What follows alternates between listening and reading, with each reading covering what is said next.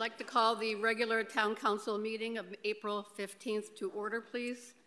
And if you could all rise if, if you're able for the Pledge of Allegiance.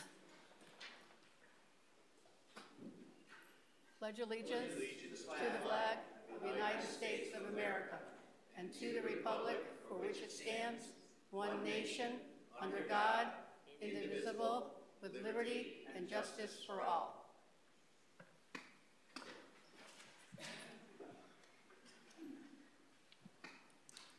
Mr. Maniscalco, if you could do roll call, please. All right. I'll just head my way around. Uh, Councillor Pendleton? Present. Councillor King? Here. Deputy Mayor Siracusa? Present. Mayor Delnicky? Here. Councillor Carey? Here. Councillor Balboni? Present. Councillor Lewis? Present. And Councillor Baganski? Present. Thank you, Mr. Maniscalco. And moving on to mayor's remarks. Uh, good evening, everyone. Uh, yesterday, April 14th, 2024, was the start of National Public Safety Telecommunicator Week, a week set aside to raise public awareness and honor the men and women who provide a lifeline to callers every day. South Windsor had a total call, number of calls of 8,946 for 911 and for routine calls was 42,563. And all calls are answered by a dispatcher, and there is no automated system. Today, April 15th, is the beginning of National Work Zone Awareness Week, and it runs through April 19th. National Work Zone Awareness Week is an annual spring campaign at the start of construction season that encourages safe driving through highway work zones. Please remember that work zones are temporary and actions behind the wheel can last forever. The week of April 21st and 27th is Administrative Professionals Week, with April 24th being Administrative Professionals Day. Administrative professionals are the unsung heroes who ensure that everything operates seamlessly. So here's to you and thank you for all you do. And lastly, Sunday, May 5th from 2, uh, 2 p.m. to 4 p.m. will be the third annual Peace Through Pie event, and it will take place at Wapping Community Church at 1790 Ellington Road. Based on the teachings of Martin Luther King, peace includes everyone, pie, is an event with a goal of gathering people together to share a piece of pie, enjoy some entertainment and crafts, and embrace the diversity to, of our community. There is no admission fee. Everyone is welcome, and again, this event is Sunday, May 5th from 2 to 4 p.m. And that's all I have. And uh, moving on to adoption of the agenda, Deputy Mayor Siracusa. Thank you, Madam Mayor. I'd like to make a motion to adopt, adopt the agenda as presented. Any changes, additions, corrections? Discussion? Well, Just discussion too. not discussion. I just want to say to anyone, because I see folks that are coming in, some of the students, there's more agendas on that back table if anyone needs an agenda to take and write minutes on it or notes on it for the meeting for school, or if anyone who hasn't received an agenda, it's right on the back table. Sorry, thank you. No, thank you. Since we're under agenda, I figured. Councillor Carey? Um, I'd like to make a minor amendment. Can we, um, under number eight, adoption of minutes of previous meeting, can we take out the word action and put in regular, Regular meeting? regular meeting minutes? Okay. Second. We have a second on that amendment. Any other amendments to the agenda? Councillor Lewis? I'd like to make a motion for the approval of the April 1st, 2024. Uh, no, we're not, we're not there yet. We're just amending, adopting the agenda. Okay. All those in favor of the amendment to the agenda? Aye. Aye. Seeing- Any opposed? Seeing none, motion carries. Adoption of the agenda is approved. Moving on to item six, communications and reports from the town manager. Mr. Maniscalco? Thank you, Madam Mayor. Uh, in terms of our spring parks update, we've been conducting ongoing maintenance of all the trails. Uh, they're now officially open. Uh, during the winter, we replaced boardwalks at Major Michael Donnelly. Uh, we'll also be regrading the Sullivan Avenue entrance parking lot on April 11th, uh, which will which will complete the much-needed maintenance at that park. The athletics fields have all been renovated and prepped for the season. We finished prepping, uh, prepping and lining all the fields the week of April 1st for both the recreation and high school fields. Uh, we did a lot of uh, grading and overseeding in the fall, so the fields are in good shape for the spring sports season. Uh, we'll be conducting ongoing maintenance of the parks, which will include items such as mowing, landscaping, trail maintenance, playground repairs, as well as lining of the athletic fields throughout the season. In terms of our police department accreditation, the police department has been pursuing national accreditation for several years. This process started well before it was required by the Connecticut Police Accountability Act and is almost complete. The Commission on Accreditation of Law Enforcement Agencies, CALEA, is the certified body for national accreditation. After several years of being uh, the behind the scenes efforts, we officially applied for CALEA Tier 1 accreditation in September of 2021.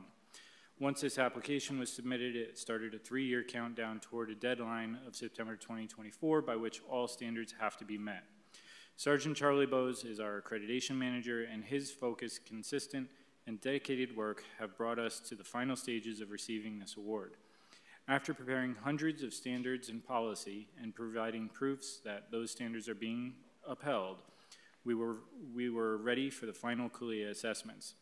The first of these assessments was a web-based remote assessment that took place on March 1st through March 9th of 2024. The two assessors reviewed Sergeant Bowe's work for days, and we sailed through that assessment with flying colors. During a conference call after this assessment, the assessor spoke very highly of the thorough work that had, that had been done. The next and final step is an on-site assessment that will take place next week. On April 15th, 16th, and 17th, we will host a CALEA assessor at South Windsor Police Department. His assessment will include several meetings, interviews, tours, and opportunities to see the CALEA policies and observable standards are being upheld. Once this final assessment is complete, the last step in this, in this three-year-long process will be for Sergeant Bose and Chief Lindstrom to attend the National Accreditation Conference in Charlotte, North Carolina in July, where we anticipate receiving our final award of accreditation. Also, two items I don't have on my written report for all of you.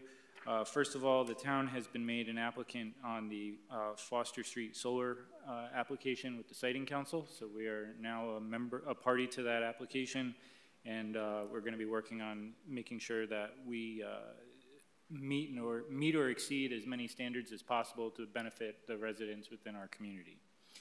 Uh, also, just wanted to give you a quick update. Uh, as of just probably 30 minutes ago, I received uh, notice that the company out of Ohio that is managing our splash pad will actually be sending staff on site to implement those uh, pieces of the of the equipment, I believe next week. So hopefully we see that moving forward very, very shortly. So uh, we do have some contingency plans in place and we are shooting still for Memorial Day opening.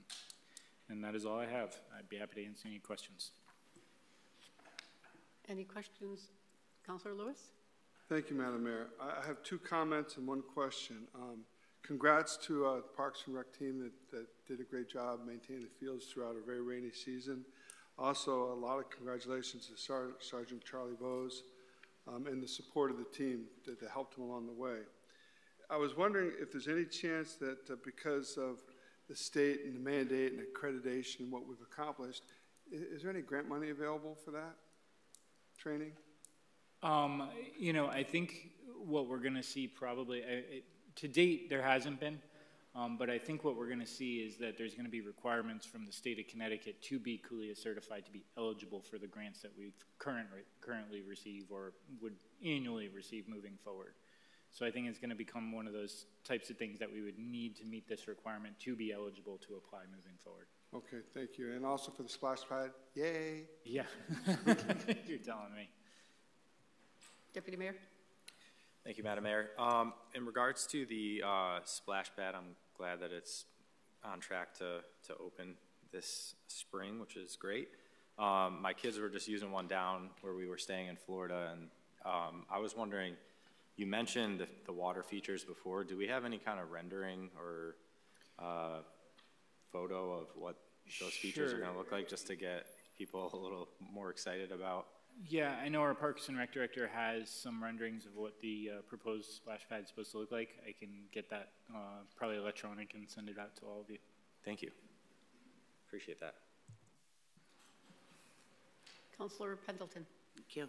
Mr. Maniscalco, thank you for your report. I know with the uh, Spring Park updates, um, I have a question concerning that.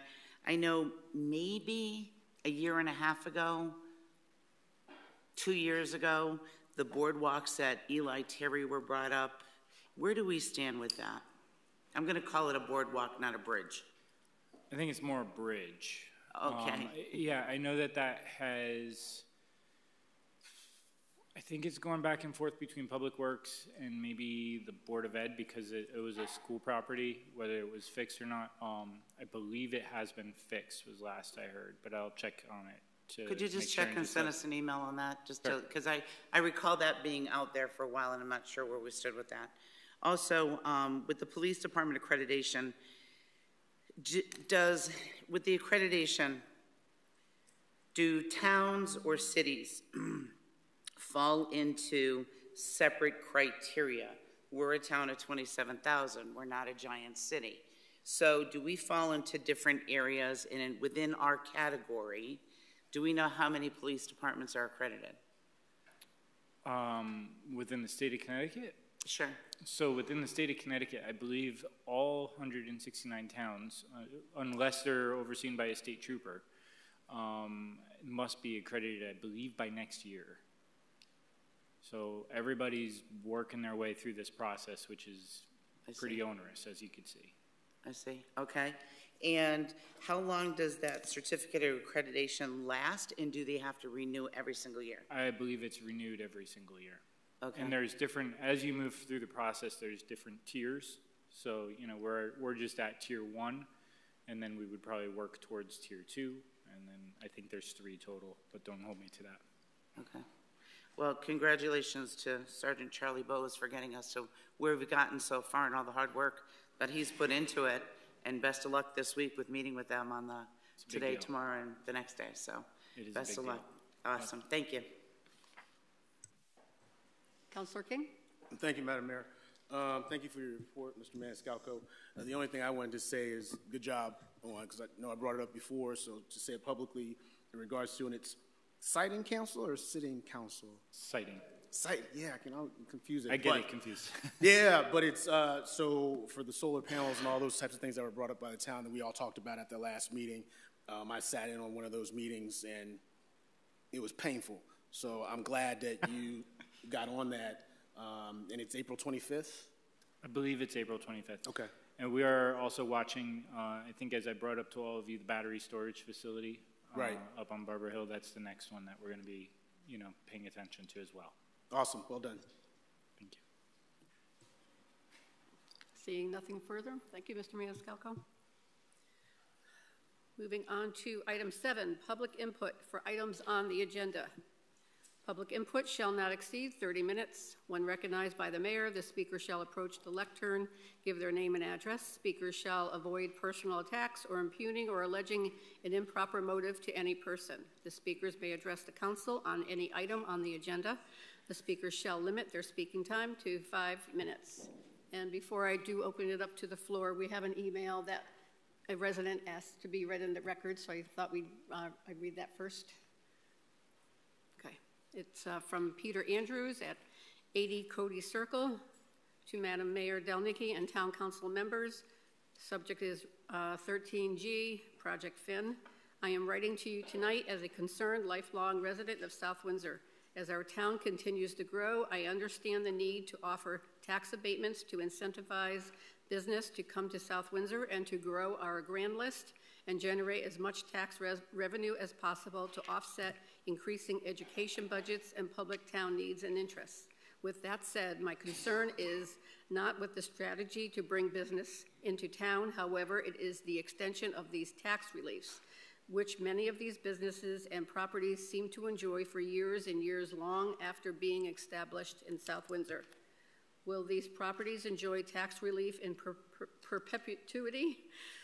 At, the point, at what point do we have a strategy to stop or at least decrease this cycle, which is likely costing South Windsor millions of lost dollars in revenue, quite possibly due to a lack of better oversight and creative management? One example Carla's Pasta at 50 Talbot in South Windsor is currently enjoying its tax, second tax fixing schedule, which appears to be extended through 2025 for approximately 1.3 million in tax savings.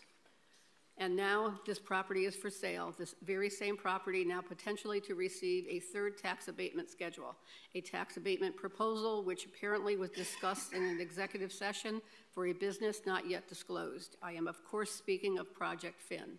At what point does the same property in South Windsor stop enjoying these overextensions of tax breaks? We all know our town residents are paying their fair share in taxes.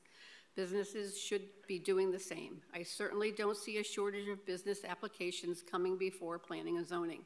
I would ask the town council take, to take a hard look at the fine print and details of some of these deals being made.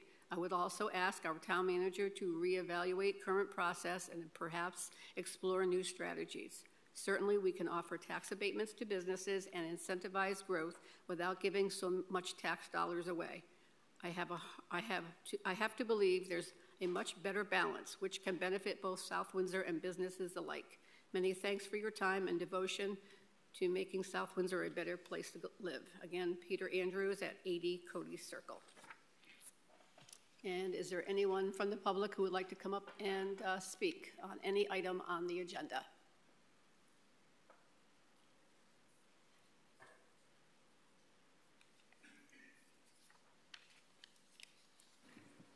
John Hausack, 39 Cody Circle. I submitted a letter at uh, 2:38 this afternoon. Did that not get through?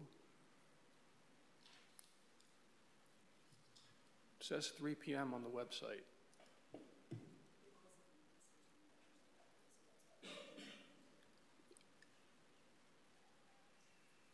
And I don't have it here. Did you send it to the entire town council? I did. I put it on the agenda comment form.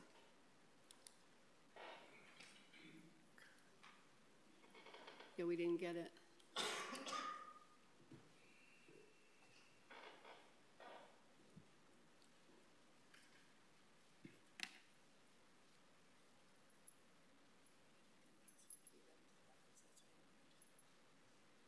Okay, so it looks like it just went to you again.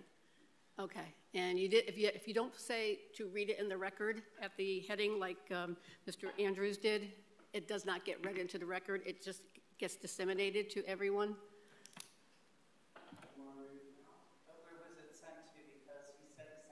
It looks like it might have just gone to Kathy again, like, right, because Mr., same thing with Mr. Andrews, the same thing, that's why I had Kathy print it. Unless um, we can have Scott look into the email system, Mr. Maniscalco. Madam Mayor, if I might. Yes. Sir, you're here, so why don't you just say what you have to say? Well, there were four items. I'm trying to recall all of them. Um, for the record, they were uh, specifically about item 13G, uh, the uh, proposed tax abatement for uh, Project Finn. Um, there were four legal issues that I kind of researched a bit and brought forward. Um, one of the concerns is uh, that the resolution as drafted does not give any amount. It talks about the total investment. Um, it does not uh, provide any indication as to how large the abatement is. I believe it refers to seven years, but there's no amount given, okay? I understand about Project Finn wanting to remain anonymous, okay? But why leave the amount blank? Is it because it's large? Okay, I don't know. Is it 50% of $71 million? That's a lot of money, okay? Um, doing this purely from memory, okay?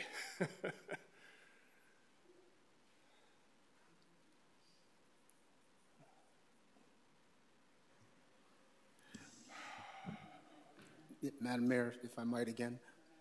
Yeah, if, if either that or if we have it, I'm, I'm just going to say I would assume that it's on your cell phone or something in your, Uh, in your sent me- file. Let me try to flip Yeah. back to it, thank If you. it's, you're welcome. If it's in your sent file, Thank you for your forbearance. You're welcome.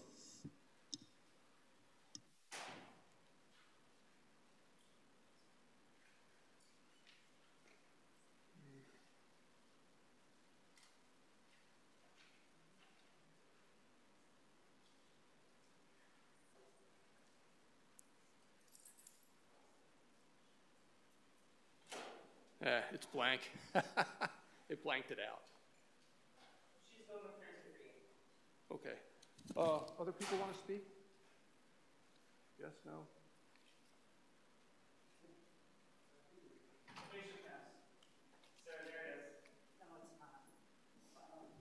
Do you want to just read it off my phone without? That's perfect. All right, Thank you. uh, where are you? There you go. Okay. Thanks.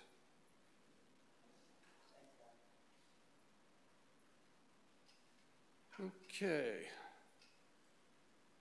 Uh, I'm not going to read all of this. I'm just going to hit the key points in the interest of time. Um, what are the legal considerations if the new owners create a common nuisance? Um, this is one of the oldest tenants in law. Uh, common nuisance could be noise, it could be odors, it could be other emissions. If the uh, town council grants an abatement, do you then become party to any common nuisance lawsuits? Um, it's a liability that I'm suggesting that you look into. Uh, has anyone advised Project Finn as to who their new neighbor might be? Um, I think that's kind of an important thing. Who knows if it's happened, but uh, better to get it on the table now than in the middle of uh, some other situation, okay? Um, I touched on the amount of the abatement.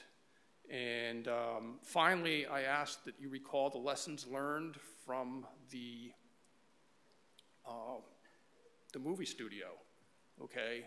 Um, if the other party doesn't act according to the agreement, what means does the town have to redress this, right? Are you going to have any audit powers to go in and look at the construction bills or the equipment bills to see whether they fulfilled their part of the bargain? Okay, um, I think that's the gist of it. Um, at the end of it, it was a suggestion. The suggestion is that you call a special executive session, you meet, you go into executive session, you could drive over to 140 Edgewood Drive. Um, that's the town-owned open space that directly abuts uh, the Carla's Pasta site. And you can decide based on what you know about Project Finn and what we don't. Um, would you live um, right where that open space allotment is or not? If you wouldn't, um, I think you need to do some soul searching about whether you do that to the rest of us because it's an unknown to us. Okay? Um, I think that pretty much concludes it. Um, I do want to note the prevailing wind direction is from the northwest. I know this because I operate a snowblower from time to time. Um, that's the way the wind blows. It's from the Carla's Pasta and other nearby industrial sites directly into hundreds of homes in the Edgewood Drive, Judy Lane, Elizabeth, um, Maryland, even Hilton Dri- sections of Hilton Drive are, are within a thousand feet of, uh, of this facility. And uh, just please think about that, okay? And my suggestion is indicated. You can do that if you want. Okay, thanks. Thank you, Mr. Halchuk. Anyone else like to come forward at this time for any item on the agenda? Going once? Twice? Seeing none, moving on to item eight, Counselor Lewis. Like uh, adoption of the minutes of April 1st, 2024 Town Council meeting minutes. Be it resolved, the Town of South Windsor Town Council hereby approves the minutes of the regular Town Council meeting of April 1st, 2024. Second. You have two seconds. um, any uh, discussion? All those in favor? Aye. Opposed? Seeing none, motion carries. Mr. Lewis? Approval of, approval of the April 1st, 2024 proposed Board of Education budget for year 25, 24, 25, 25, 24. Public hearing meeting minutes. Be it resolved that the South Windsor Town Council hereby approves the minutes of the April 1st, 2024 public hearing for the proposed Board of Education budget for year 24-25. We have a second. Any discussion? Seeing none, all those in favor? Aye. Opposed? Seeing none, motion carries. Moving on to item nine, communications, liaisons, officers, boards, and direct, directly responsible to the council. Councilor Balboni? Thank you, Madam Mayor. I got a couple of them. Start with uh, Public Building Committee. Up, your microphone. Here you go. Starting with Public Building Committee, uh, there's discussion regarding the Parks and Rec facility. The architect toured the building, sent a preliminary program fit out to Molly, the Parks and Rec director. They're awaiting a response. They're also waiting to hear if any of the fixes that are required from having the building change from an educational space to a town building have been done or, or are in the works. Moving on to Pleasant Valley, the site work and the watershed continue to be a concern. Initial sketches have been received from DPI. Uh, they were just received and need to be priced out. The commission made it really clear that we need to put urgency on this. Special meetings will be held as soon as we get the pricing to move forward. There was an outside meeting on Friday, 412, with Gilbane, Colliers, DRA, and members of the PBC and the town to review everything. The roofing, there are concerns about the bubbling on the roofing in two places, seams where the two materials meet, and also on the walk line.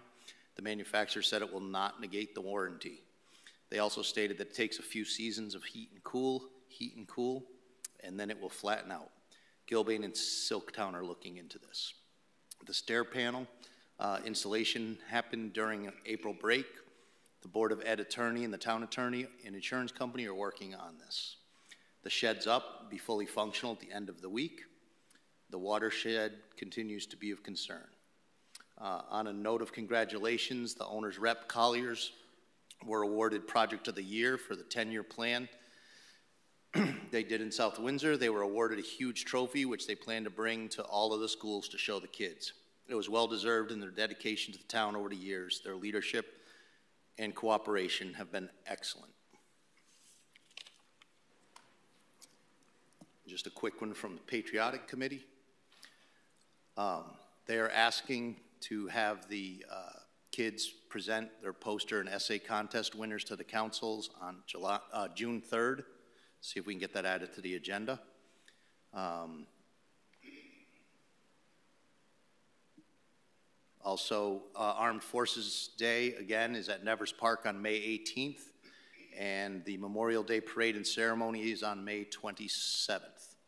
Uh, the banners for 34 new honorees should go up just before Memorial Day at the Community Center and Town Hall Library Complex. That's it. Thank you. Councilor Lewis? Thank you, Madam Mayor. Uh, I attended the uh, April 2nd Water Pollution Control Authority meeting. Uh, they met with the, the uh, Finn project for 20 Bidwell for approval to connect.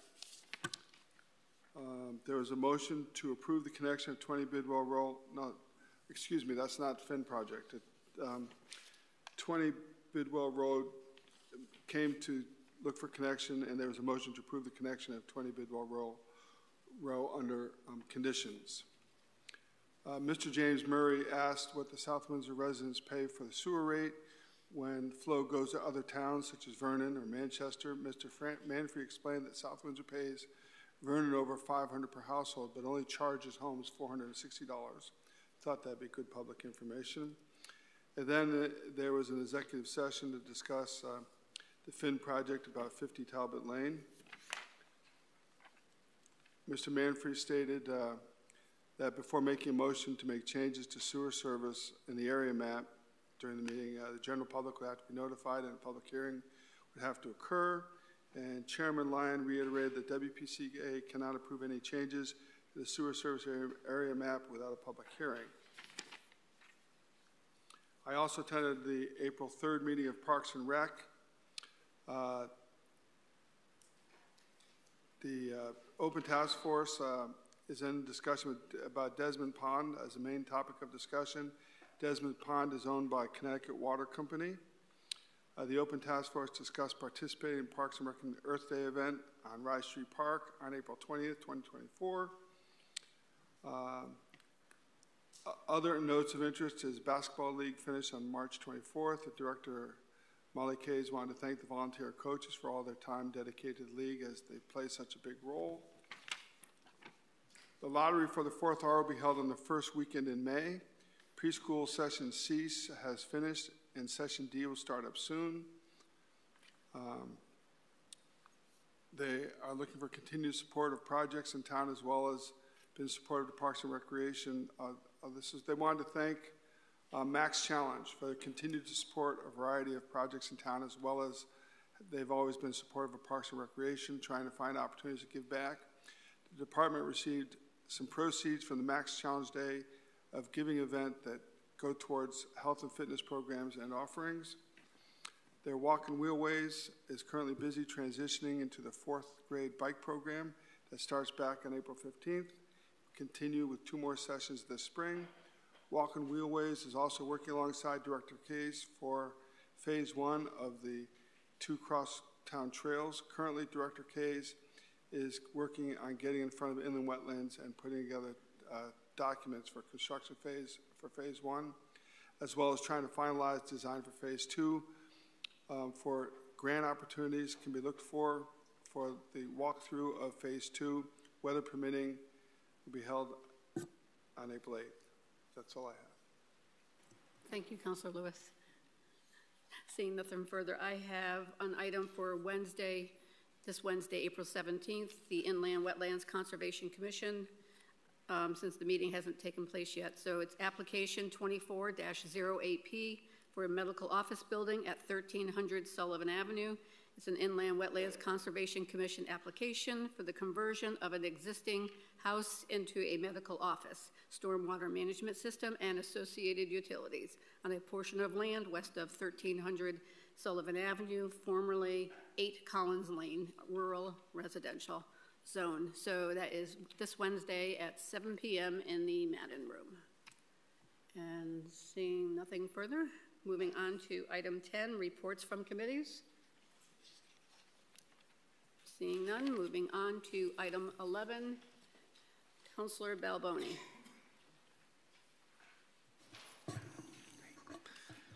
A motion to approve 11A1 through 11A5 as a first reading on the consent agenda. Second. We have a second. Any discussion? Counselor Balboni? Make sure I got the right one this time.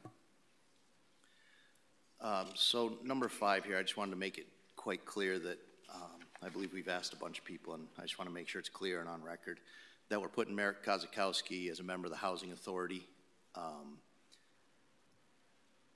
in a Republican seat, and that that stays a Republican seat either way, correct? Thank you.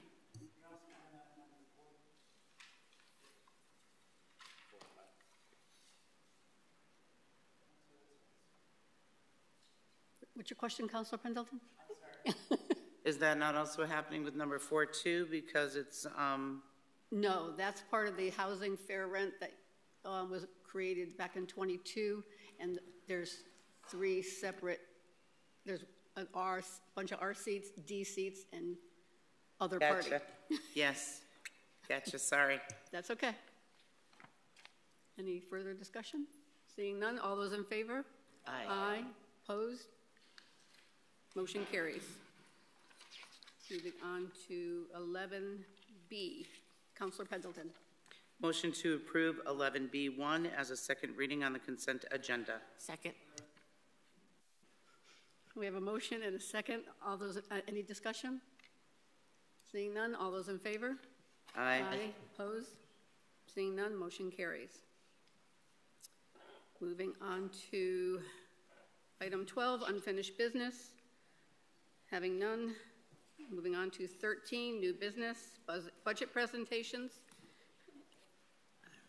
And we have human resources. Ms. Perry? Yep. Uh, so that's page 52 is where it starts on. Uh, page 53, you've got your, your numbers, so it's a $383,530 Okay, budget. Hold on, Mr. Ma- Maniscalco. Yep. To make a point of order, is, is there any way that we can move someone up in the agenda now because we have guests in our audience?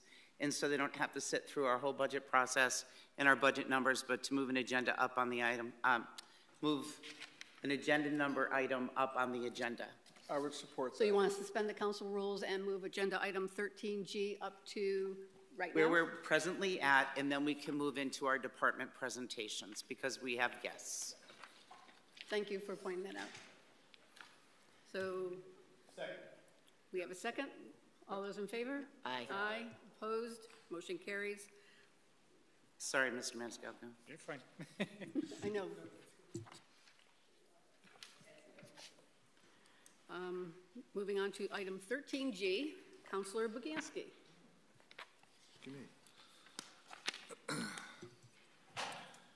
Resolution approving an offer of a tax abatement agreement with Project Finn. Whereas a request for tax abatement has been received from Project Finn, an out-of-state company for development of real property located at 50 Talbot Lane, South Windsor, Connecticut, the property. And whereas the Town of South Windsor's Tax Partnership Program established pursuant to Connecticut General Statutes, Section 12-65B, is intended to encourage the development and expansion of quality business in town through tax and other economic incentives, and is designed to retain and attract business that will generate substantial additional tax revenues and employment opportunities for the town while providing quality goods and services. And whereas the Economic Development Commission meeting held on March 27, 2024, the commission reviewed and recommends that a seven-year tax abatement agreement, the agreement, be offered for the development of the property upon the application of Project Finn, and whereas Project Finn will be the property owner subject to the agreement, and whereas the town manager recommends pursuant to said program that the agreement be offered to Project Finn as an incentive to invest an est- estimated 71 million in total cost for significant upgrades to the existing building, equipment, and a planned expansion of approximately 28,000 square feet. The company will create 210 jobs to operate the facility. Now, therefore, be it resolved that South Windsor Town Council is pleased to offer the agreement for seven years between the town and Project Finn, commencing with the grand list following the date the certificate of occupancy of the property provided, however, that if such assessment is changed by any future town revaluation, the new assessed value of the property shall be reduced by the percentage applicable to the year within the agreement period. Such assessment is charged, and be it further resolved that the South Windsor Town Council's offer to Project Finn this agreement is conditioned upon Project Finn, one, meeting the estimated $71 million construction cost figure and agreeing to the abatement figures, and two, continuing to pay the real estate taxes on the property for a minimum of seven years from the date their certificate of occupancy is issued. Three, if Project Finn fails to meet either of these conditions, Project Finn shall refund the town of South Windsor all of the tax benefit reductions it has received. And be it further resolved that the South Windsor Town Council's offer is contingent upon the execution of a written tax abatement agreement by Project Finn reflecting the terms set forth in the resolution and such other terms as the town may require. We have a motion as second. Any discussion? Counselor Boganski. Hold on, catch my breath. Okay, uh, I'd like to take a couple minutes to provide some clarity for the public regarding this resolution, as there's been a fair amount of noise out there, and understandably so. The hit piece by the local paper, which lacked any clarity, context, or details, didn't help either. Understand that the primary role of the Economic Development Commission is to help entice businesses to come to our town over another location, thereby growing the grand list. Expenses will continue to go up every year just based on simple inflationary pressures, and if the grand list does not, at a minimum, keep pace with expenses, the net result is a tax increase. Simple math. Many times, initial discussions regarding sensitive financial decisions need to be held in a small group outside of the public realm until a general consensus is met. There could be a million different reasons why that is, but typically the business asking for a concession is not interested in sharing their financial position with the public unless and until a commitment is made. In this case, I believe the business in question also wants to maintain a certain level of anonymity in order to protect their market position should a deal not be reached. As this will be an expansion location for their, this business, keeping it quiet is also beneficial to us by not giving their current community a chance to undercut our offer.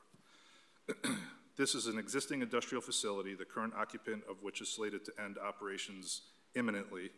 The company looking to purchase the space has plans to offer jobs to all the current employees and bring additional jobs on. These are well-paying jobs that are good for our community, especially since some of the folks, affected folks likely live here. The abatement in question is only for a previously approved expansion to the facility and only to the value of that expansion and not the entire facility. To the gentleman's uh, comments earlier, the, based on the assessment of 3.1 million and current mill rate, that would be approximately $70,000 a year credit the first three years and decreasing as it went forward from there. Positives to this transaction, it's an existing location, so no use of green space. It's industrial, so no impact on the schools. Maintains the flow of taxes to the town on the existing buildings. There is an abatement on the current building, which was put forth seven years ago. That will expire in the October 2025 grand list, at which time full taxes will be being paid on that portion of the building. We will be getting additional taxes on the expansion, although at a lower rate.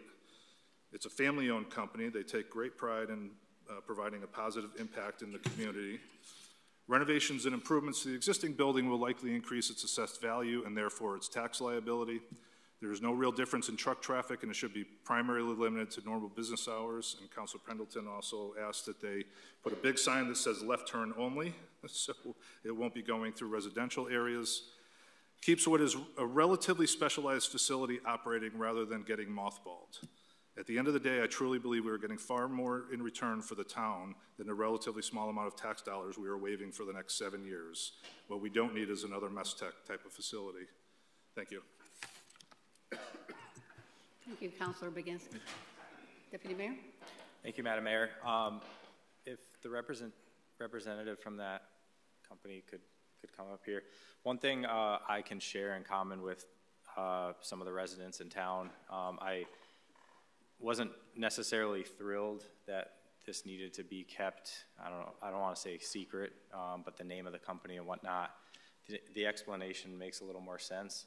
Um, but now that we know who they are and what they're about, um, I would love kind of just the elevator pitch that we were given on the community focus that you have, um, where you're currently located, um, and what you plan on doing here in town. And then again, uh, with Councilor Pendleton um, suggesting that you encourage, I'm in the transportation industry, and I know for a fact you can tell your trucking companies, listen, you take a right, you know, one time, we're, we're going to get a new, we have trucking companies in town, so we can hook you up with them. Um, so can you just share a little bit about what you do in your current community um, and what you plan to do here in South Windsor?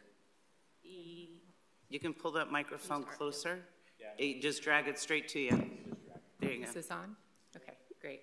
Uh, Mayor Delnicki and council members, thanks again for, for meeting with us today. We're excited to be here. My name is Rachel Gradner. I'm with CBRE. I've been working with the Home Market Foods Company. Megan is here from Home Market Foods. Um, about the project as previously stated, the company has been evaluating where to put their next manufacturing facility in the U.S. Um, we are here uh, considering the, the facility at 50 Talbot. As mentioned, um, the investment of $70 million and the creation of 220 jobs by the end of 2027. Um, certainly appreciate your support here today in making that investment happen and um, looking to partner with a town like yours. And I'll let I'll let Megan talk about who Home Market Foods is. I know that's been um, a question, and we're here to address that. And I will try to keep my elevator pitch, the elevator of a normal height building and not a skyscraper, as I like 10 floors tend to do. Yes, um, so I'm the talent acquisition director with Home Market Foods. Uh, I just began in November, and I'm very, very passionate about being here. Hence, why it's hard for me to contain in such a small segment what we're doing well for our people. Um, but brief context of who we are Home Market Foods, we produce the nation's number one selling frozen meatball product that you can find in pretty much all of your grocery stores. We also produce a lot of the hot dogs, roller bites, um, food that you find in your local movie theaters, um, 7 Eleven, Cumberland Farms, lots of customers. So you see us everywhere, even if you haven't heard of us. Um, but what makes me proud to work here really is about how we treat our people. We are a family run business. The business is 60 years old, has been run by the same brothers for over 30 years. Uh, and they truly treat everyone like they are part of the family. We have employee relief funds where we support employees going through hardships. We provide scholarships to employee students. Um, we do all of that down to monthly birthday celebrations and weekly happy hours to really create community and family within the company. Um, outside of our walls, we partner very closely with the Greater Boston Food Bank, and we do funds and donations every year.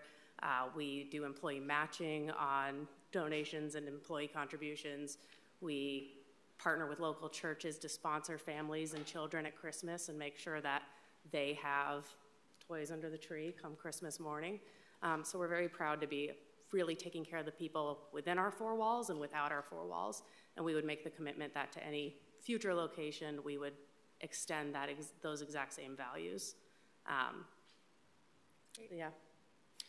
That, that's perfect. I don't want to say anything that I'm not supposed to in regards to your business, but you did share something about like when folks go through hardships in your company, Yes. if that's something you could share as well. Yeah. Because just to preface it, if I may, um, I've been on record multiple times stating that, you know, these developers that want to come here, uh, after the one that we passed, you know, you're not going to get an abatement. The benefit in be, being in this town is your benefit, right? And you guys seem to believe that. Um, just to make it clear to the public, I know it was said before, you know, the abatement is simply on the addition that they're putting on the building. They're fully prepared to come into this town, take on an already built building. They understand that's a benefit rather than going elsewhere, having to break soil and build a building. They're, they want to get up and running right away. So can, can you share, because I know you're planning on hopefully retaining as many as the folks that you can Yes. that are currently working in that building, but then you have upwards of like 200 more jobs that are coming in. So kind of sh- share that story you told us because that, that's huge. These are the people that we want in our town, guys. The, these are the people that deserve, you know, to be in South Windsor, and you know, I'm thankful that you guys aren't really tugging at us for more. You're, you're happy South Windsor's enough to you. Yeah. Yeah, so briefly, the example we discussed earlier was um, when we have employees going through hardships, I high level alluded to the fact that we support them. One of the things we directly do is we actually will offer loans at 0% interest repayment um, to help employees who are struggling through financial hardship. So, no interest, just pay us back. And it's just part of how we take care of our home market foods family. That's great. And, and since you do work with the Boston Fu- Food Bank, you can work, you'll work with the local South Windsor Food Bank is here as well. Yes. And we have, have community events at the community center and throughout town, so I'm sure you would like be willing to participate or even like sponsor an event and things like that. Yeah, we would love to be invested in part of this community, not just here, but really part of it. Okay, great. Councilor Pendleton?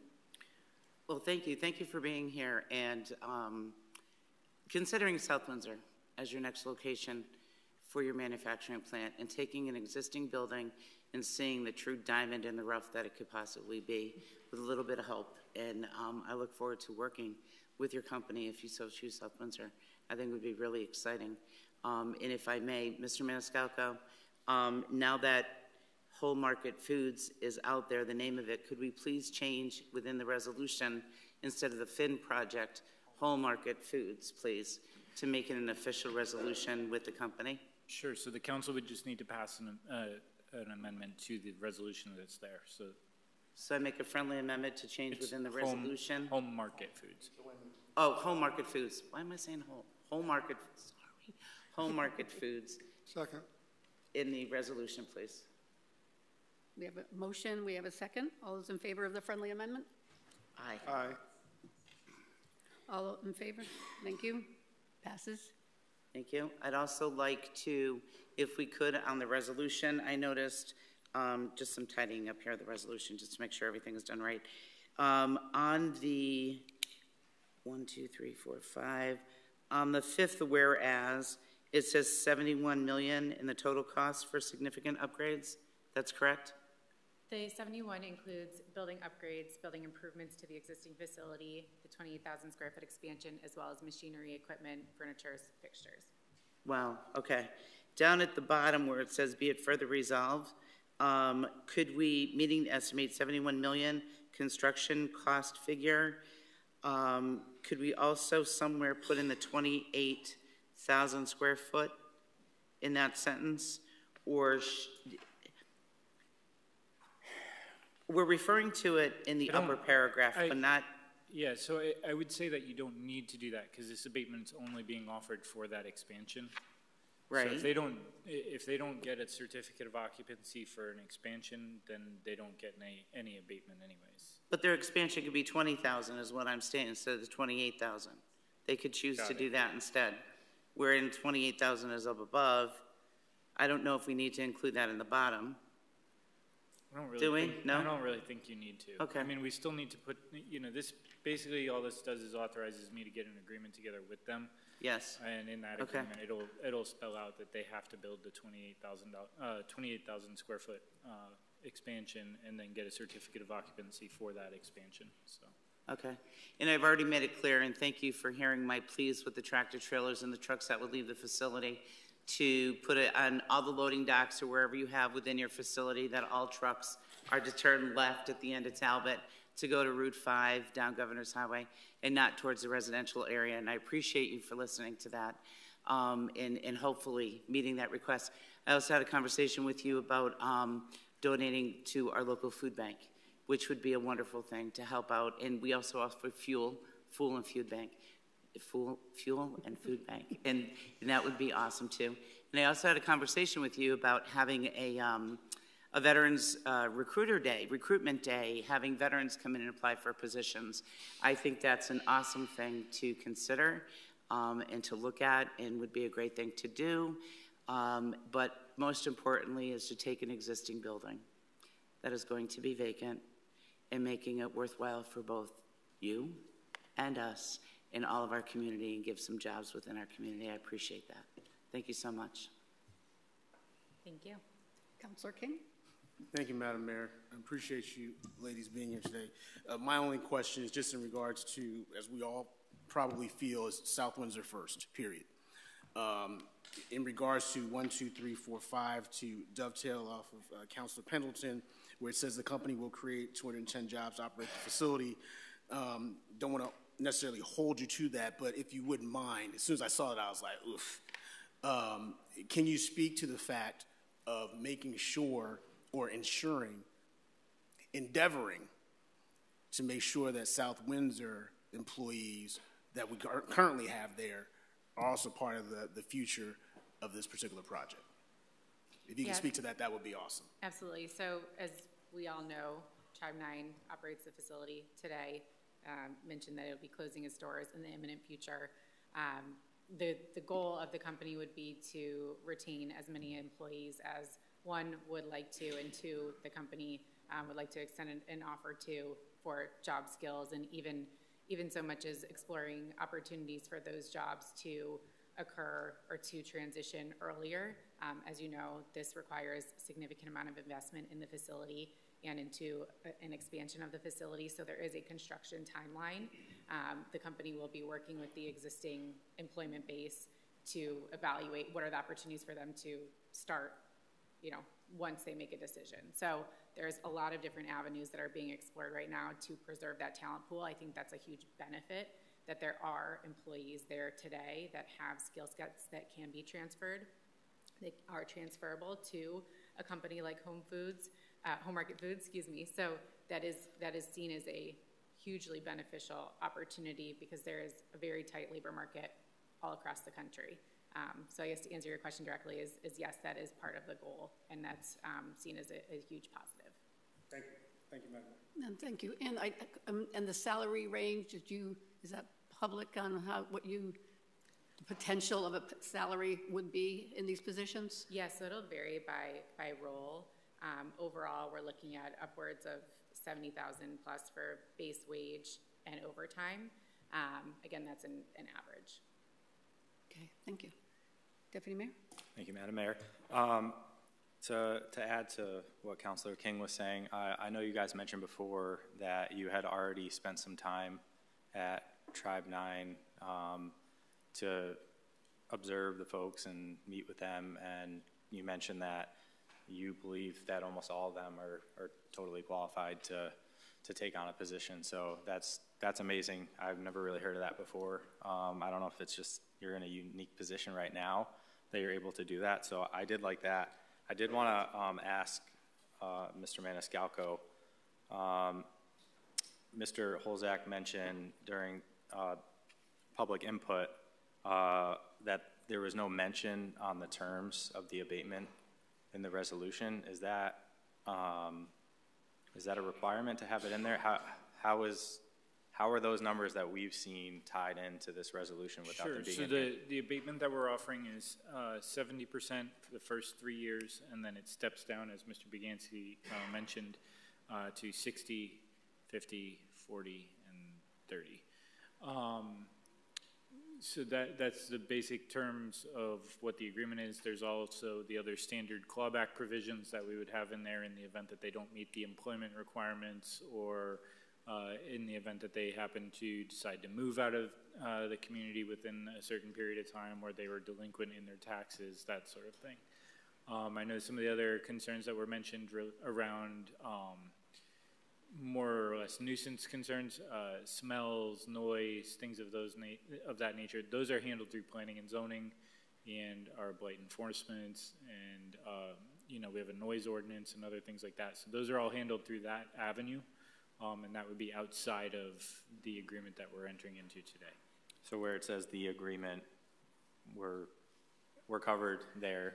Correct. Based on what So we've the- seen. yeah, so this- And now it's been made public. Yeah, so this kind of starts the process of us putting that agreement together. We do have a standard format that we've used with a, a number of our other uh, businesses that uh, I was able to put together with the town attorney when I came on back in 2019 that we've been using moving forward, so. Okay, thank you. Yep. Seeing no further discussion? We have a motion and a second. All those in favor? Aye. Opposed? Seeing none, motion carries. Thank you. Congratulations. appreciate your time.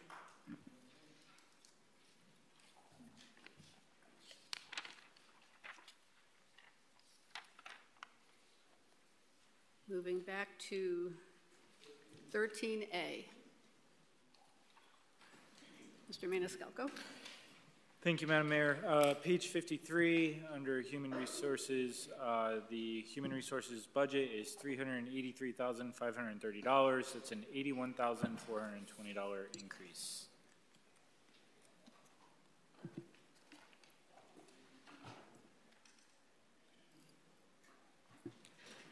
And Vanessa, if you want to take it away and tell them a little bit about what I'm you just waiting for everybody to get there.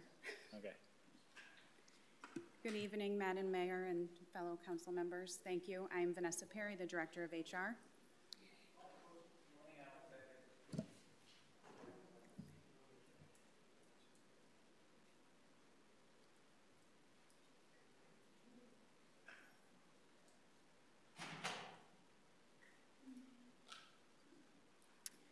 So my initial increase was about $3,000, and it is now a little bit more than that because we have moved the payroll coordinator position from the finance department into the HR department.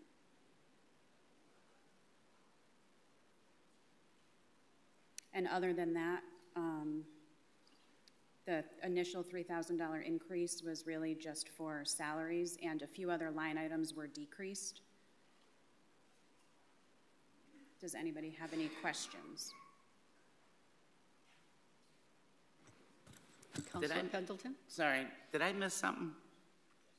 I missed something. About a, a couple weeks ago, our payroll coordinator that was up in finance, we moved her down to the town manager's office to be in the HR department. Why is that when payroll coordinator would be under finance, no? Usually it's under HR, and her and I work closely on a regular basis, I see. so. Okay. Thank you.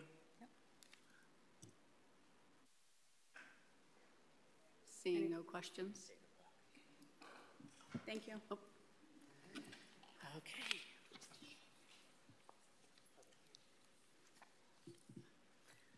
I'd like to suspend the regular meeting at this moment. We have a public hearing at 8 o'clock, so we're going to uh, recess the regular meeting, and the clerk of the council, if you could please read the notice for the public hearing. To be published in the Journal Enquirer, April 2nd, 2024, legal ad, Town of South Windsor.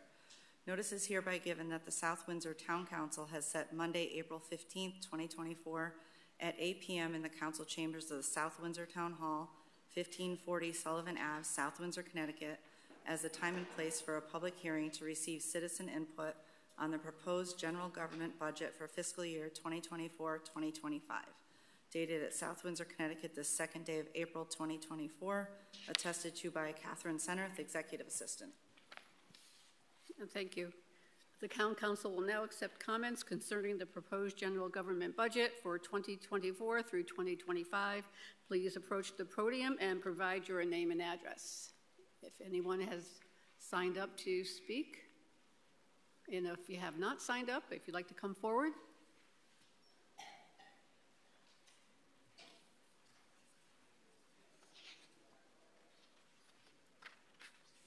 If you haven't signed in already, if you can sign in on the form, that would be appreciated.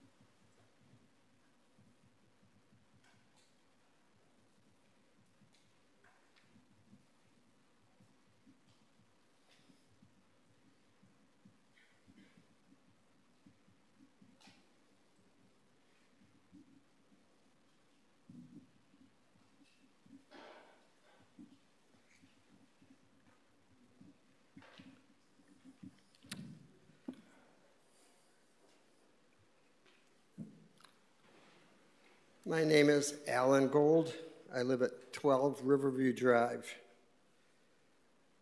Um, I am here not only representing myself, but I am the president of the board uh, of Podunk Ridge Condominium Association. I am the president of the board of Pleasant Valley Condominium Association. And I am the head of the South Windsor Community Associations Coalition, um, which is all, or we're trying to get all of the common interest communities, uh, whether they're condos, HOAs, PUDs, uh, together. Last year, according to the town, our budget was increased by 8.84%. One of the things that the town saved money on was to kill the reimbursement of the street plowing for our common interest communities, as well as the reimbursement for street lights. As I said, there are 37 of these common interest communities, and the town saved just under $48,000.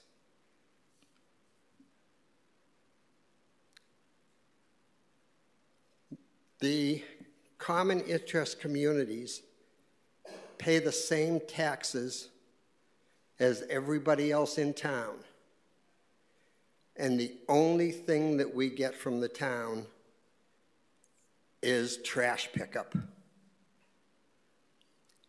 When I said that the town took away reimbursements for um, plowing and electric lights, at Podunk Ridge, our budget for plowing the streets is a little over $12,000, and our reimbursement last year was $480.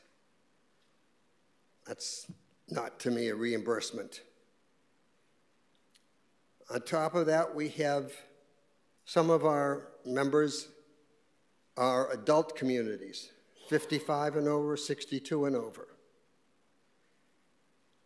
The town of South Windsor, back in the early 2000s, invited all of these people in because they thought it was going to be great. We don't put any pressure on the school budget, and we can't because our declaration and our bylaws state that. Yet we pay exactly the same thing for the schools as everybody else. The town budget went up 8.84% last year. The federal government said that the cost of living increase was only 3.2%. Now you're proposing a budget that's going to go up 7.29%. That's a little over 16% in two years. For those of us living in adult communities, we basically live on Social Security, and if we're lucky, we have a little bit of extra income that we've been able to save for all the years that we worked. But when you go up 16% and we get an increase of 3 or 4%, and that's high if we actually get that, how do we pay for our medical bills, our medicines, and everything else that goes along? We don't have the ability to work extra hours to make any extra money.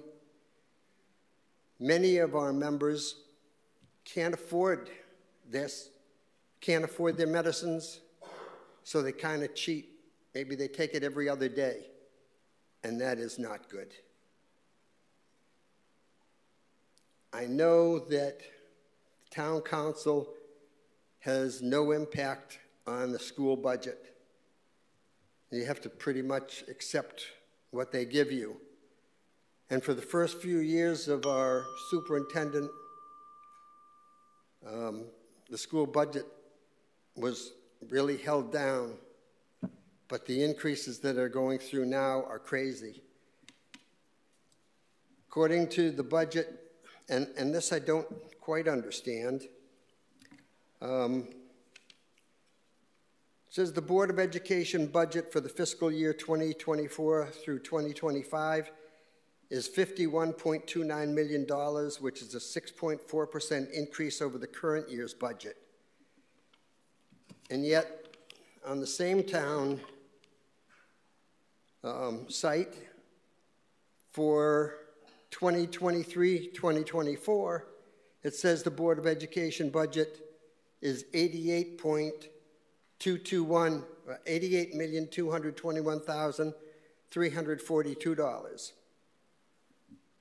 something does not compute.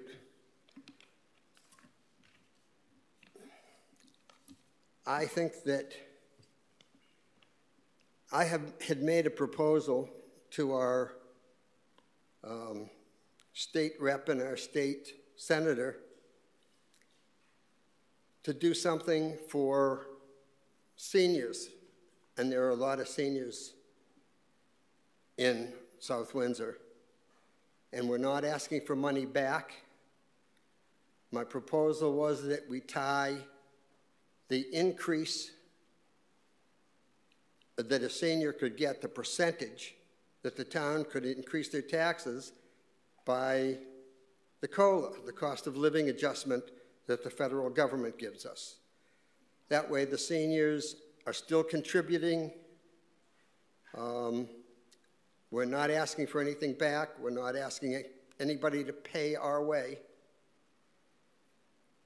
But we are asking for somebody to do something to help us so that we can stay in South Windsor.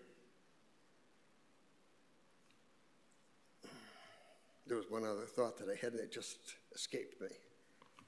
Um, I can only ask this board, I know that there are certain things that you have no control over, but um, somebody has to stop this train ride. It is out of control. And um, South Windsor is not, I moved here 20 years ago, and it's just not the same South Windsor that it was then. Uh, and pretty soon, I, I figured I would stay here for the rest of my life. And I'm getting to the point where I can't afford it. And I think that I happen to be in a better position than uh, a lot of people who live here now, a lot of seniors who live here now, um, just don't have the the same benefits, the same uh, financial benefits that my wife and I enjoy. But um, this is really getting out of hand. Thank you. Thank you. Is there anyone else that'd like to come forward at this time? And if you haven't signed in already, if you can sign your name uh, there. Thank you very much.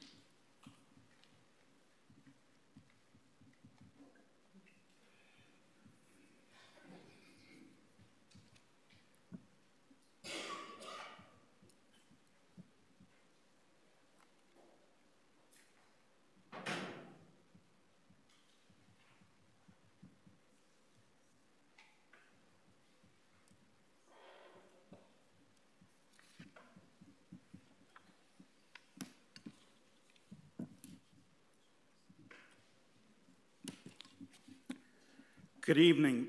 Uh, my name is Bruce, Bruce Bardo, and I live at 24 Lavender Lane, and I'm the president of the Homeowners Association um, for uh, T-Berry Estates Homeowners Association. And the reason why I'm here is I wanted to go back to the letter that we gave to the town council in June of last year. I'd like to pass them out to the council members. And it was in response to the letter that we got from the town council about taking away the reimbursement for the streetlights and the plowing. So I'm going to read the letter. Um, my name is Bruce Bardo, president of T-Berry. Um, other members of our board are John Matkowski, John Hudek and Andy Klein, who's here today. We received the above reference letter that was addressed to our bookkeeper. The letter was formal notification that condominium reimbursements for snow, street lights, and fire hydrants from the town of South Windsor will be will end effectively. Our development's over 55 community of 25 standalone homes. Last year, we received a reimbursement of approximately $1,200 from the South, town of South Windsor. This amount represented a small fraction of the amount that our association paid for snow removal, street lights, and maintenance and water for the fire hydrants. Our 25 homeowners pay significant property tax to the town of South Windsor, and our association pays significant property taxes on the clubhouse and the common areas.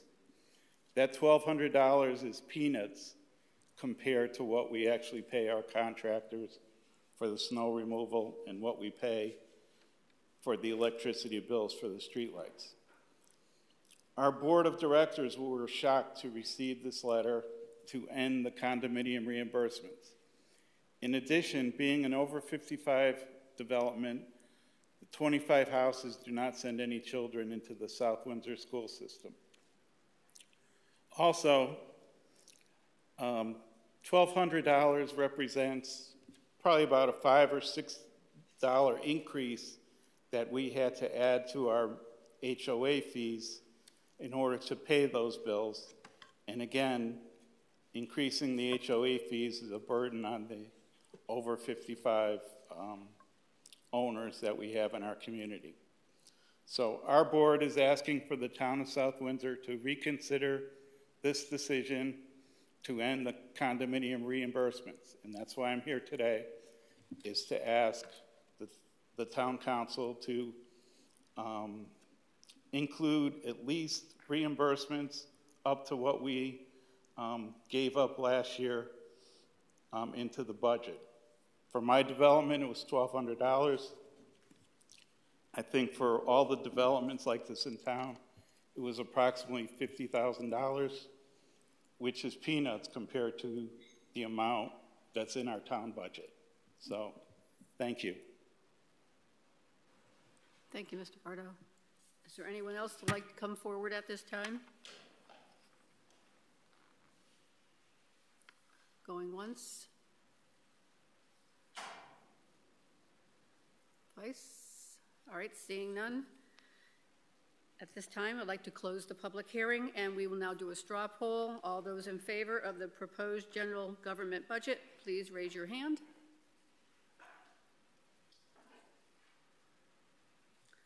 All those opposed?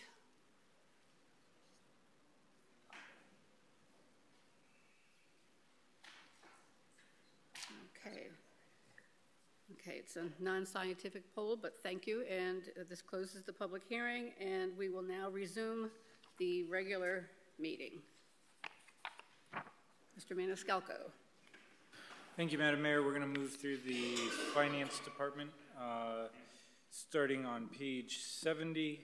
Um, so the first part would be the Assessors uh, Department, which is a $351,181 uh, budget, which is a decrease of $2,079. I'll just run through all, all three of them real quick, and then Patty, you can take it away. Uh, under the Collector Revenues Department, that's a 247,000 overall. The Finance Department uh, is a $371,704 budget, which is a decrease of $71,136. Good evening, everybody. I'm Patty Perry. I'm the Director of Finance, and I'm here to answer any questions on the Finance Division. Councillor Pendleton. Uh, just jumping to the end with the, um, the negative 71,136 for the Finance Department. That's because of the position move from Finance down to HR? Correct. Just trying to keep up. Okay, thanks.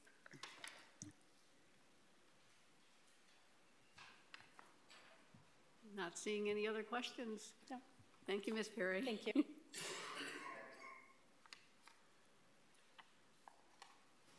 Mr. Maniscalco.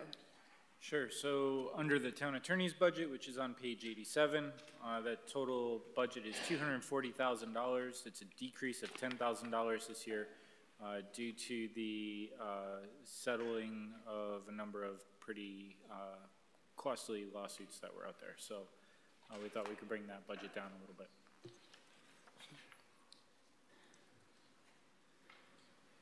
Could you repeat that, the number of costly what? Lawsuits. Thank you. Uh, next one would be the town council Wait, budget. I have a question. Yeah. It- It is, it's both, it's So- all the attorneys that sound Irish. So this is all the attorneys that the town has that work for it. Uh, the planning and zoning department doesn't hire a separate attorney just for them. It's typically the town attorney that will represent them. Okay. Um, it also includes labor attorneys and any other special attorneys that we might need. Great, thank you. Yep. Uh, for good moving forward, the town council budget's on page six. Uh, that's a $203,843 budget, which is a $10,291 $10, increase.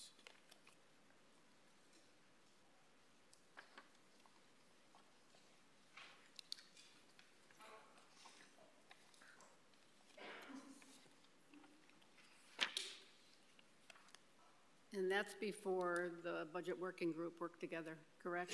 Sure, yeah, so, um, because we've had some personnel changes with the council clerk's position and we've, uh, combined that, there should be a decrease, I wanna say of about thirty thousand dollars in that budget line. I, I know we had the exact number. On- thousand four hundred and five? There you go.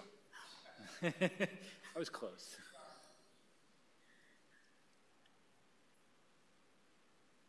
And I think there's some other smaller items the working group had identified out of the council budget to remove, but Counselor Pendleton? Could we get an updated number with all that that you're mentioning right now from Ms. Perry? Just a sheet that, an updated sheet that maybe we can put in here with the changes on the dedu- deductions, the reductions?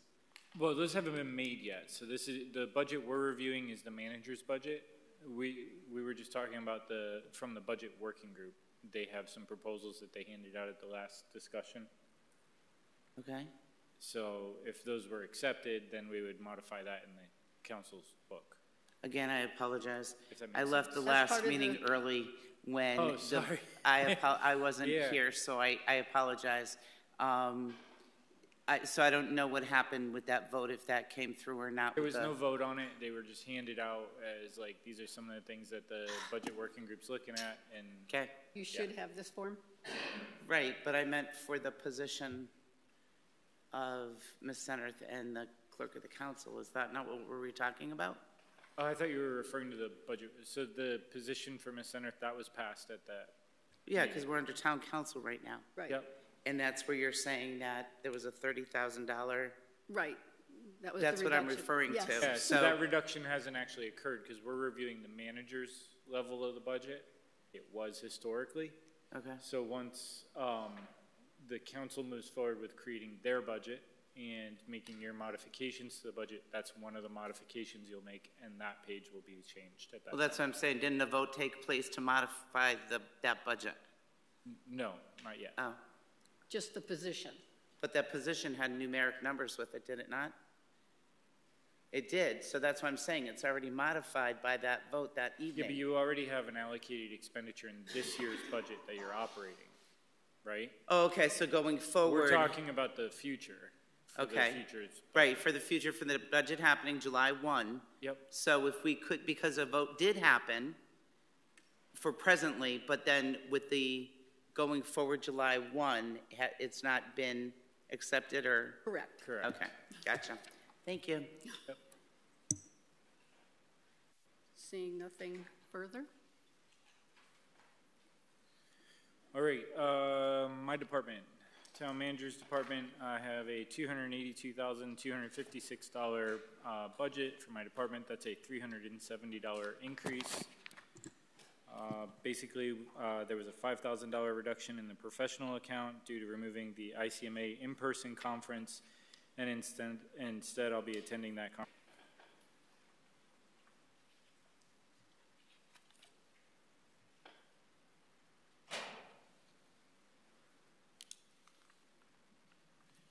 Then I don't know how you want to handle um, boards and commissions. We can move through all of them, starting on page 10 through 41. Do you want to do each of them individually? Do you want to? Anybody have a preference? Preference?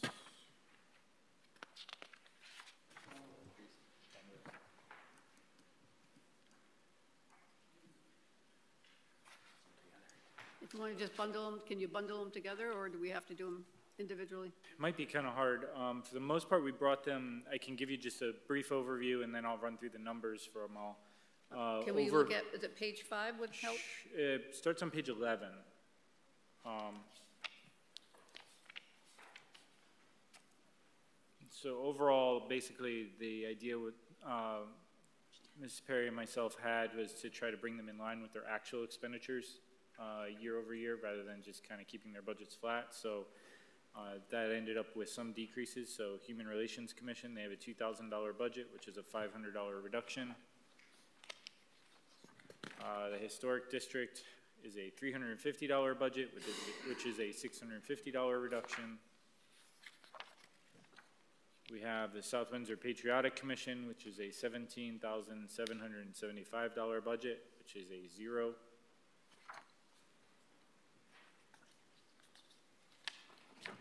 Uh, Public Building Commission, uh, $1,550 budget, which is a $500 deduction, or reduction, sorry.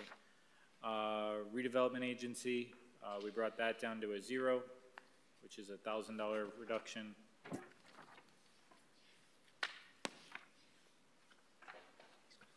Uh, agricultural land preservation is a three hundred dollar budget. We did not modify that one. Open Space Task Force was a five hundred dollar budget. We did not modify that one. Uh, Park and Recreation Commission, a three thousand nine hundred dollar budget, we reduced that by thousand dollars.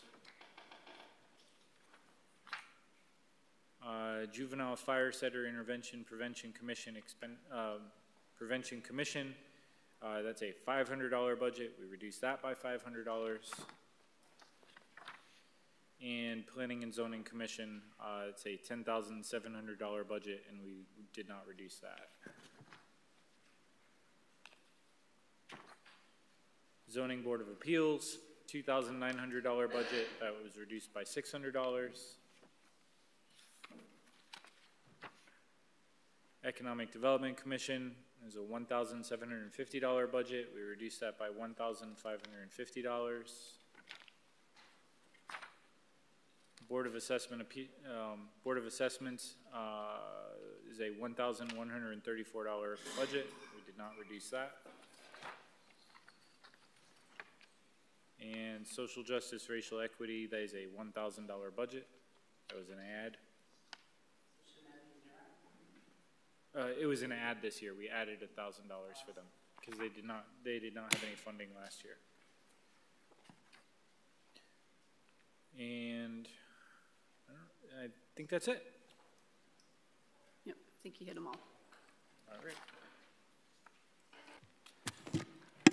Um, excuse and me. I'm going to recuse myself. Oh. I'm going to recuse myself. Okay. The fire department budget is $1,183,315. That's an increase of $15,343. Good evening, Kevin Cooney, proud to serve as your fire chief. Before I start, I just want to thank Kathy, the town manager herself, for rescheduling us for tonight. Very much appreciate that. So, um, We did our very best to um, comply with the council budget statement. Uh, We're at the lowest increase we've ever had over the, the history that I can recall at a 1.3% increase um, to try and comply with the close to zero that we could um, without jeopardizing services or our member benefits, which our members are most critical feature that we have. Um, we got down to the 1.3, and I didn't feel we could go any lower without jeopardizing those services or our members' benefits. But Any questions? Just like to uh, publicly also thank behind me is Assistant Chief Brian Peck. He's extremely instrumental in many things, but especially with the budget. So uh, thank you, Brian, for your help. Thank you, Chief Cooney.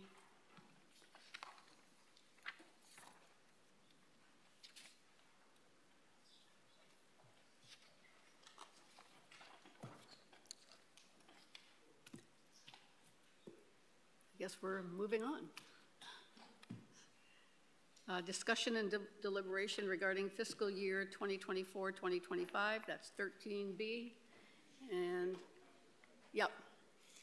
And it's to discuss our worksheet from the Budget Working Group.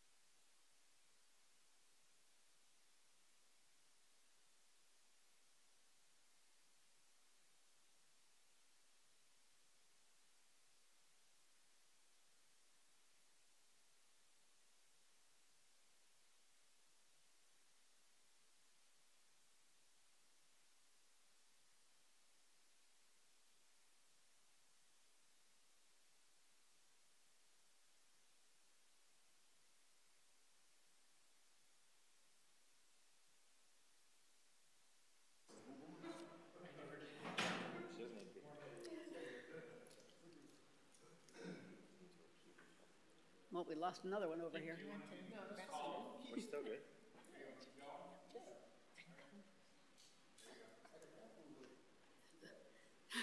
All right, moving on to the working group, uh, the recommended cuts and ads for fiscal year 2024, 2025. And as we discussed, the council clerk reductions um, from the town council budget was 500, council clerk was 33,405, um, which came in with with the salary reduced by 42,288, adding a part-time salary position of 17,680 for 20 hours per week, reduce the pension for the um, full-time council clerk by $6,914, and reduce the Social Security Medicare tax by 1,883, which brings us to the council clerk reductions of the 33,405.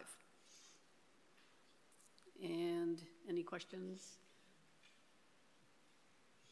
Um, Seeing none. Uh, Council uh, budget indexing line item, whatever, which one that was, reduced by a 1,000, and human relations was 1,500. 1,800 for cost dues being double budgeted, and cut town manager travel line item, $1,000, cut ICSC conference and travel in EDC by 1,500, and cut OPEB to bring it in line with current valuation of 87,800. And remind me what OPEB is, Mr. Maniscalco? OPEB, it's other post-employment benefits. Oh, okay. Yeah. Which gave a total reduction of 128,505. Any questions from the counselors who were not in the budget working group? You have this, right, Mr. Okay.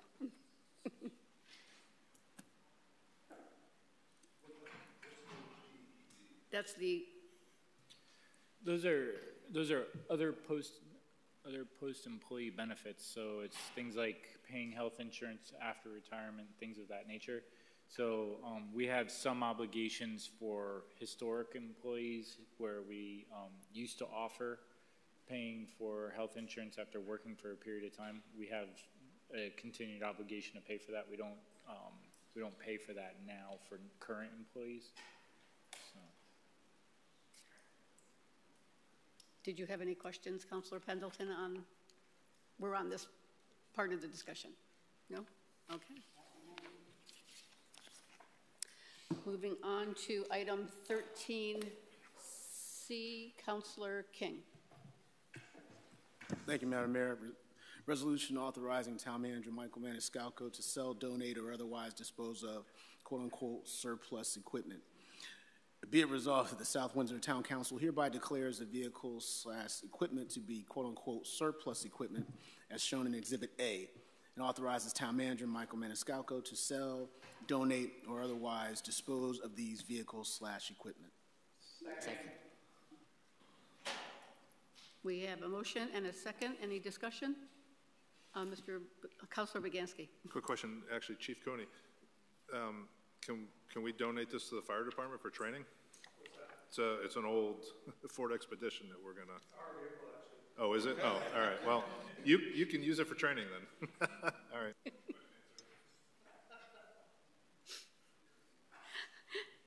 Seeing no further discussion, all those in favor say aye. Aye. Opposed? Seeing none, motion carries. Moving on to 13D, Counselor Lewis. Resolution approving refund batch 42 for nine tax refunds totaling $3,318.51. Be it resolved that the Town of South Windsor Town Council hereby approves nine refunds, the total of said refunds being $3,318.51 and is more fully described in Exhi- Exhibit B. Second. We have a motion, we have a second. Any discussion? May I? Counselor Pendleton? Thank you. I just have a question concerning this.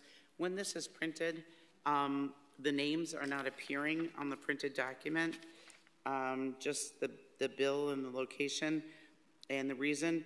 If you could, when you see it, because it's not printing fully for us, could you just check to make sure none of us council members are on it? If we are, we can't vote on this.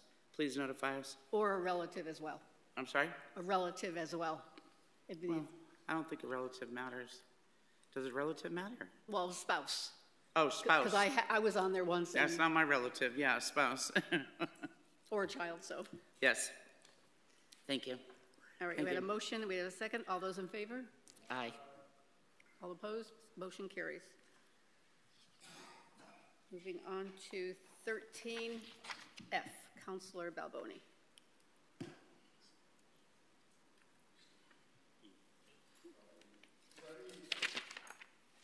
Oh, I'm thinking we moved that one. 13E, Counselor Carey. Try not to take it personal.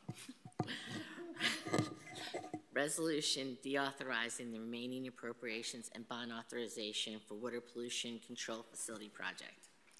Whereas a resolution entitled Resolution Appropriating 47 million for the planning, acquisition, and construction of upgrades to the water pollution control facility in the town of South Windsor, and authorizing the issuance of 47 million in bonds of the town to meet said appropriations, and pending the issuance thereof, the making of temporary borrowing for such purpose was adopted by the town council of the town of South Windsor, Connecticut, the town, on September 2nd, 2008, and approved by town electors at a referendum on November 4th, 2008, the WPCA resolution to provide financing for the planning, acquisition, and construction of upgrades to the water pollution control facility and related costs of the project.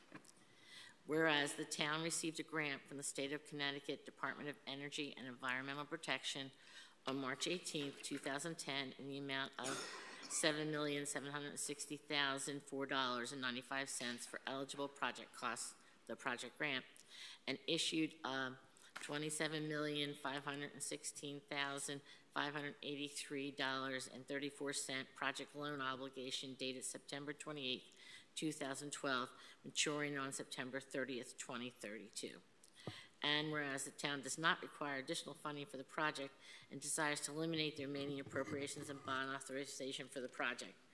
Now, therefore, be it resolved by the Town Council of the Town of South Windsor that Section 1, the remaining eleven million seven hundred and twenty-three thousand four hundred and twelve appropriations and bond authorization for the project are hereby deauthorized and reduced to zero. Section two, this resolution should take effect immediately upon adoption.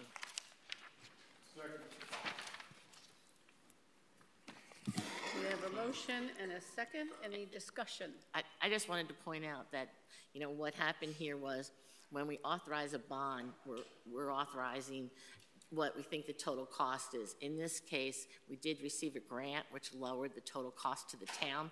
And so since the project is completed, you don't, you don't want to have hanging around additional authorized monies that you're never going to bond. So to clear the books, that's why we're doing this. Thank you. We have a motion and a second. Any further? No, we, oh. Councillor Pendleton. Okay, we have a motion, we have a second. All those in favor? Aye. Aye. Opposed? Seeing none, motion carries. 13F, Councillor Balboni. All right, resolution setting a time and place for a public hearing to receive citizen input on a small cities grant for renovations and upgrades to Flax Hill. Be it resolved that the South Windsor Town Council hereby sets Monday, May 20th, 2024 at 8 p.m. in the council chambers of South Windsor Town Hall, 1540 Sullivan Avenue, South Windsor, Connecticut, as the time and place for a public hearing to receive citizen input on a small cities grant for renovations and upgrades to Flax Hill. Second. We have a motion, we have a second. Any discussion? Yes. Councillor Pendleton. Did we, Mr. Maniscalco, already set the public hearing when that gentleman came in, Mr. Daniels Correct. came in? So you already held one public hearing. The federal government requires us to hold two. Got you, thank you. Okay, we have a motion, we have a second. Any further discussion? Seeing none, all those in favor? Aye. Aye. Opposed? Seeing none, motion carries. Hmm, moving on to item 14, passage of ordinance, having none. Item 15, public input for any matter. Public input for any matter over which the council has jurisdiction shall not exceed 30 minutes. When recognized by the mayor, the speaker shall approach the lectern, give their name and address. Speakers shall avoid personal attacks or impugning or alleging an improper motive to any person. The speakers may address the council on any item over which the council has jurisdiction. The speakers shall limit their speaking time to five minutes. Anyone from the public to, to speak on any matter. Good evening again. Chief Cooney. Um, as I said before in the past, one of my positions as a fire chief is a chance to brag about our members.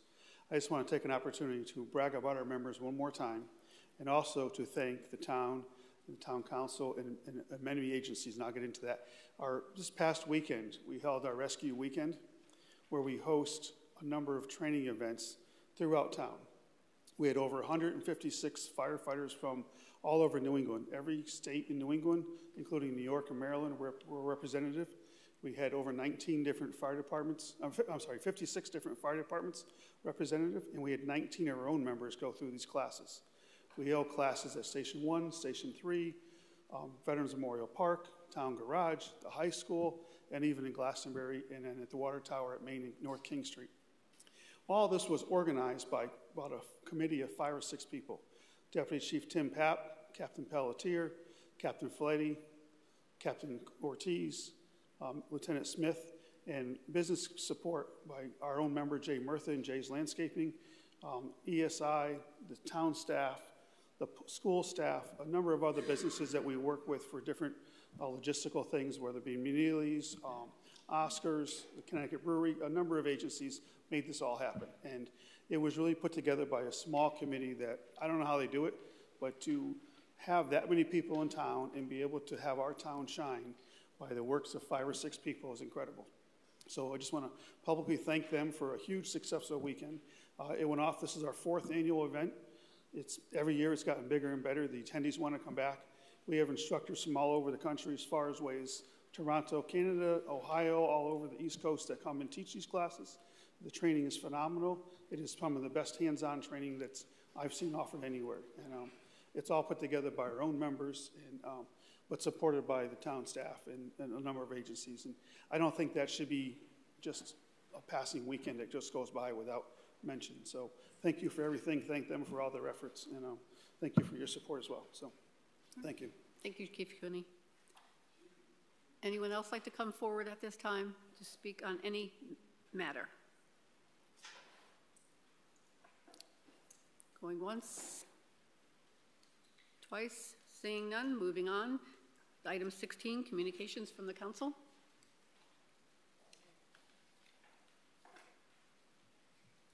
We have any communications from the council?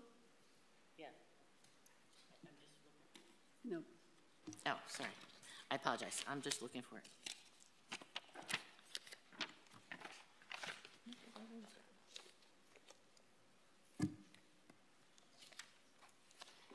Is it in regards to the Earth Day event on No, April no, because 20th? um, Toby already talked about that. Councilman Lewis already talked about that. It's regards to um, just find it. So it's regards to the, the letter that um, we sent at the last meeting.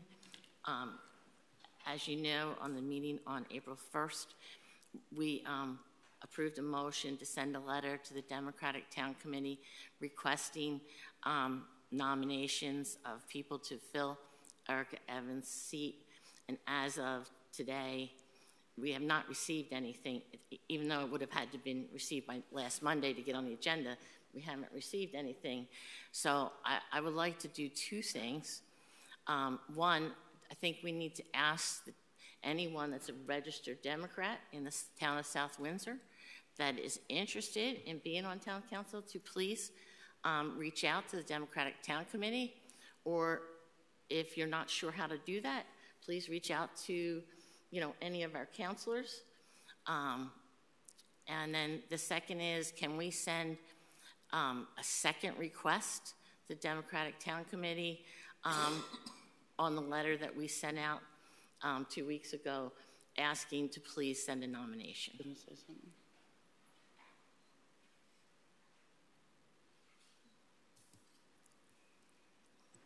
Councillor Pendleton.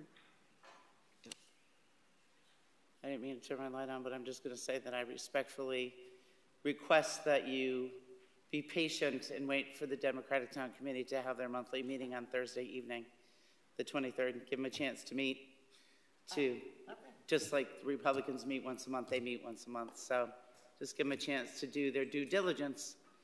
Okay. Thank you. Perfect, thank you. Thank you, Councillor Pendleton.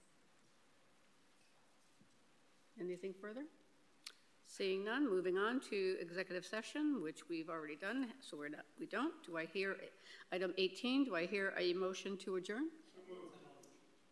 Second. Third. All those in favor? Aye. Aye, opposed, seeing none, we are adjourned.